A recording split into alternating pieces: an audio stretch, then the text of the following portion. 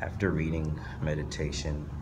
Book 4 and 5, I feel like these are Marcus Aurelius' guiding principles of how to live a happy and fulfilling life by gaining control over your mind. You should live life to the fullest by spending your time productively on things that matter and that have great meaning towards you. You shouldn't waste your time feeling down about criticism or by focusing strictly on death or about the future. You can save yourself years of sadness and pain when you program the right thoughts into your mind and build from that. A quote that had great meaning for me is on page 44 in the fourth paragraph, which read this